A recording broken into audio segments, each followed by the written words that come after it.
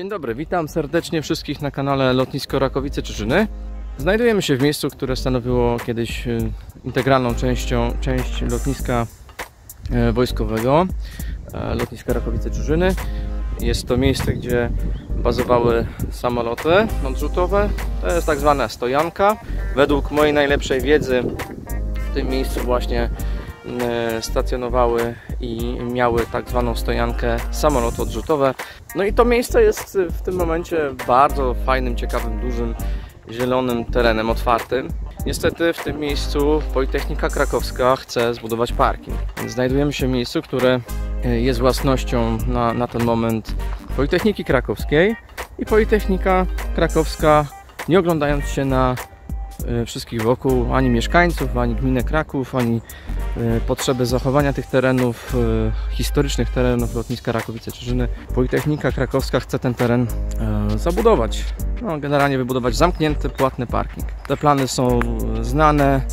E, Politechnika uzyskała na ten moment pozytywną zgodę Wydziału Architektury, dostali tak zwaną wz -kę. Natomiast e, to co ciekawe tutaj się z tym wszystkim wiąże, to jest to, że tu przed nami jest ulica Życzkowskiego i to jest to miejsce, w którym też Zarząd Dróg Miasta Krakowa wymyślił sobie, że wybuduje drogi dojazdowe do Kogiteonu. E, Zarząd Dróg Miasta Krakowa chce przepuścić drogę przez ten cały zielony teren również, tuż przy skrajni pasa startowego, tuż przez, przez tą górkę, tuż pod oknami tutaj mieszkańców osiedla i ta, ta droga ma zostać e, doprowadzona do Kogiteonu, który ma się znajdować tam hen daleko w następne 500-600 metrów co najmniej z, tej, z, z tego miejsca, czyli przy ulicy Bora Komorowskiego. No i teraz jak ktoś spojrzy na to wszystko e, trzeźwym okiem z góry i popatrzy na rysunki projektowe, które przygotował Zarząd Dróg Miasta Krakowa, to nasuwają się dwa proste wnioski. Pierwszy wniosek jest taki,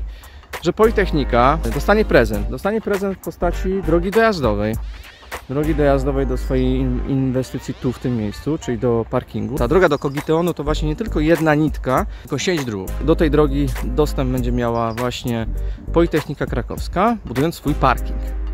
Co więcej, Politechnika Krakowska być może ma jeszcze jakieś plany, o których my nie wiemy. W związku z tym wybudowanie e, tej sieci drogowej umożliwi Politechnice Krakowskiej realizację innych, kolejnych celów inwestycyjnych, niekoniecznie związanych e, z e, celami edukacyjnymi. W związku z tym jest duże ryzyko, że Politechnika wykona poza tym parkingiem tutaj jeszcze inne inwestycje. Tego oczywiście nie wiemy, Politechnika nie zdradza się ze swoimi planami. Tylko co więcej, wybudowanie tej sieci drogowej umożliwi też innym potencjalnym inwestorom zabudowanie tego terenu. Czyli jakby gmina Kraków wespół z Sejmikiem Województwa Małopolskiego robi prezent.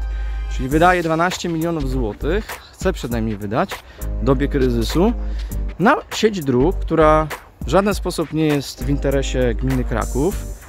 E, Nie ma tu żadnych inwestycji, e, instytucji gminnych, nie ma tu żadnych terenów gminnych, a mimo to gmina Kraków chce wydać tutaj 12 milionów złotych na budowę sieci drogowej. Politechnika Krakowska uzyska w ten sposób dostęp do, do równiutkiego asfaltu, do drogi dojazdowej wygodnej do swoich inwestycji i wszyscy dostaniemy zamiast e, właśnie ciekawego, otwartego, zielonego terenu, no dostaniemy po prostu zamknięty e, parking. Znaczy my go nie dostaniemy oczywiście, tylko, e, tylko Politechnika go sobie tutaj zamknie i będzie pobierała opłaty.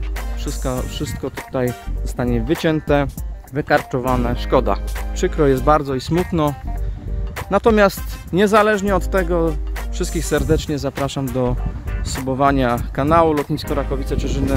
Dowiecie się na bieżąco co się dzieje, jakie są plany inwestycyjne wielu, e, wielu podmiotów w tym obszarze. Będziemy też informować o wielu ciekawych wydarzeniach, które prawdopodobnie mogą mieć miejsce w drugiej połowie bieżącego roku, a także będziemy informować na bieżąco o postępach walki mieszkańców e, w kwestii uratowania tego terenu. Także wszystkich serdecznie zapraszam, a tymczasem życzę Wam miłego dnia.